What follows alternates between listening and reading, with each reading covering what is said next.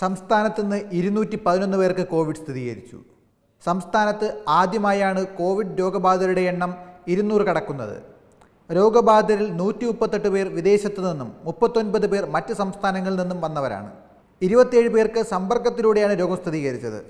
ഇന്ന് രോഗം സ്ഥിരീകരിച്ചവരിൽ സെക്രട്ടേറിയറ്റിന് പുറത്തെ സുരക്ഷാ ഉദ്യോഗസ്ഥനുമുണ്ട്. ആറ് സി ഐ എസ് എഫ് ഉദ്യോഗസ്ഥർക്കും കോവിഡ് സ്ഥിരീകരിച്ചു. ഇന്ന് കോവിഡ് സ്ഥിരീകരിച്ചത് മലപ്പുറം ജില്ലയിൽ മുപ്പത്തഞ്ച് കൊല്ലം ഇരുപത്തിമൂന്ന് ആലപ്പുഴ ഇരുപത്തിയൊന്ന് തൃശൂർ ഇരുപത്തിയൊന്ന് കണ്ണൂർ പതിനെട്ട് എറണാകുളം പതിനേഴ് തിരുവനന്തപുരം പതിനേഴ് പാലക്കാട് പതിനാല് കോട്ടയം പതിനാല് കോഴിക്കോട് പതിനാല് കാസർഗോഡ് ഏഴ് പത്തനംതിട്ട രണ്ട് ഇടുക്കി രണ്ട് വയനാട് ഒന്ന്. എന്നിങ്ങനെയാണ്. സംസ്ഥാനത്ത് ടെസ്റ്റുകളുടെ എണ്ണം കൂട്ടുകയാണ് എന്നാണ് മുഖ്യമന്ത്രി പറയുന്നത്. സംസ്ഥാനത്ത് ഇതുവരെ രണ്ട് ലക്ഷത്തി അൻപത്തി മൂവായിരത്തി പതിനൊന്ന് പേർക്കാണ് റൊട്ടീൻ സെന്റിനൽ ട്രുനാറ്റ് ടെസ്റ്റുകൾ നടത്തിയത്. സംസ്ഥാനത്ത് ഹോട്ട്സ്പോട്ടുകൾ നൂറ്റി മുപ്പതായി പതിനാല് ജില്ലകളിലും രോഗബാധിതർ കൂടി. നഗരങ്ങളിലും ഗ്രാമങ്ങളിലും കോവിഡ് ബാധിതരുണ്ട്. തിരുവനന്തപുരം എറണാകുളം നഗരങ്ങളിലും മലപ്പുറം പൊന്നാനി താലൂക്കുകളിലും ഗുരുതര സാഹചര്യമാണ്. ഈ അനുഭവങ്ങൾ സൂചിപ്പിക്കുന്നത് ജാഗ്രത എന്നത്തേക്കാളും കൂടുതൽ വേണം എന്നതാണ്. എല്ലാവരും ഒത്തൊരുമിച്ച് പോരാടുകയാണ് വേണ്ടതെന്നും മുഖ്യമന്ത്രി അഭിപ്രായപ്പെടുന്നു.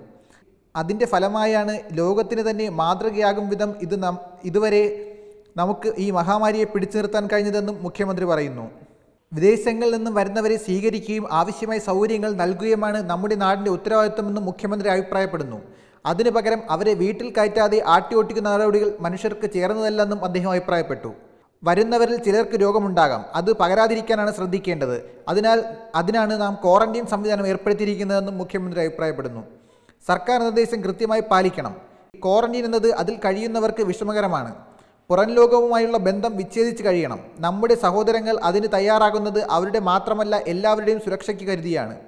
തൊഴിലുൾപ്പെടെ നഷ്ടപ്പെട്ട് കടുത്ത സമ്മർദ്ദം നേരിടുന്ന അവസ്ഥയിലാണ് വലിയൊരു ശതമാനം പ്രവാസികളും തിരികെ വരുന്നത്.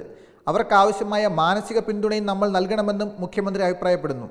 ഇന്ന് തിരുവനന്തപുരത്ത് കോവിഡ് സ്ഥിരീകരിച്ചതിൽ ഒന്ന് എ ആർ ക്യാമ്പിലെ പോലീസുകാരനാണ്. രോഗലക്ഷണത്തെ തുടർന്ന് ആശുപത്രിയിൽ പ്രവേശിച്ച നന്ദാവനം എ ആർ ക്യാമ്പിലെ പോലീസുകാരനാണ് രോഗം സ്ഥിരീകരിച്ചത്. എന്നാൽ ഉദ്യോഗസ്ഥന് രോഗം ബാധിച്ചത് എവിടെ നിന്നെന്ന് വ്യക്തമല്ല. കഴിഞ്ഞ മാസം ഇരുപത്തെട്ടിനായിരുന്നു ഇദ്ദേഹത്തെ ആശുപത്രിയിൽ പ്രവേശിപ്പിച്ചത്. ജില്ലയിൽ ഉറവിടമറിയാത്ത കോവിഡ് ബാധിതരുടെ എണ്ണം വർദ്ധിക്കുകയാണ്. കഴിഞ്ഞ ദിവസം നാല് പേർക്കാണ് ഇത്തരത്തിൽ രോഗം സ്ഥിരീകരിച്ചത്. ന്യൂസ് ഡെസ്ക് തത്തുമൈ ന്യൂസ്.